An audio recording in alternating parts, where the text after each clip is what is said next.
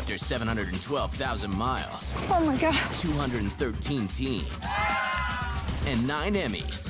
What more can we say about the new Amazing Race? oh OMG.